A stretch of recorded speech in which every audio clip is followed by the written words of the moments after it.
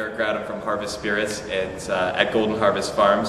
And what you see behind me is a still. It's powered by electricity. And what it's designed to do is boil hard cider and distill, make vodka through a process that takes a lot of energy.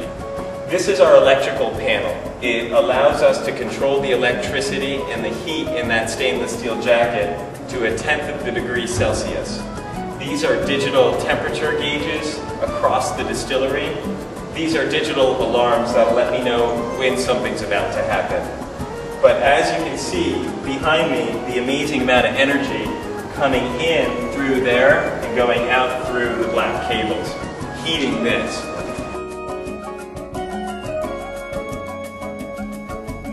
It's got hard cider inside the copper, and it's got hot water inside the steel jacket.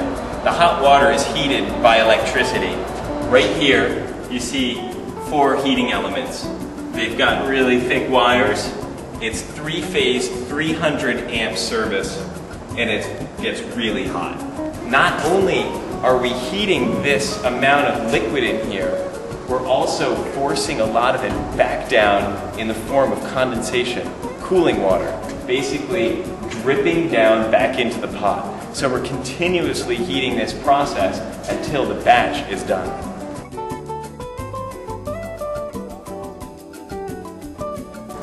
The reason we use water to heat the mash inside of the pot is because we want to bring it up to a temperature and hold it at that temperature. It's like making, it's like cooking chocolate.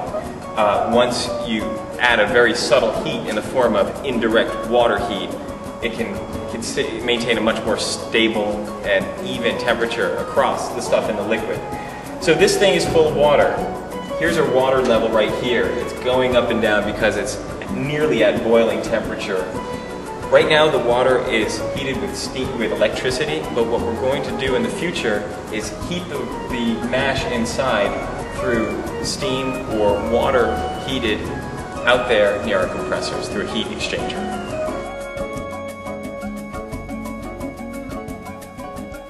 Me are the compressors that keep our apples cold all year long. The compressors are compressing ammonia, just like your refrigerator compresses Freon. This system works on ammonia. One of the consequences of compressing this is that it gives off a lot of heat. This is the giant condenser that we have to spend electricity to cool the excess heat coming off those compressors. Now what we're going to do is take that heat and capture it through a heat exchanger and power the distillery with the excess heat that we're otherwise throwing away. And we won't need to do that anymore with the distillery firing.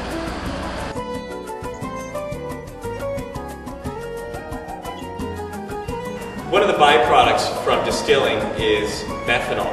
Now methanol is similar to ethanol, but you don't want to drink it. It's just as flammable, and it can be made used to make biodiesel.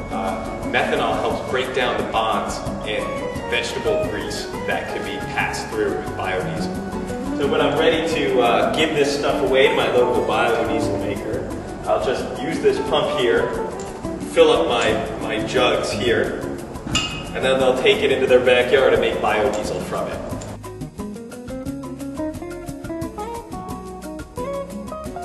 Up until this point, methanol, we've just been burning it uh, because we had no way to get rid of it. What we're looking though, we're, what we're looking for is some biodiesel makers to legally take it from us and to make some biodiesel out of it. I'll just show you how well it burns. It's very clean.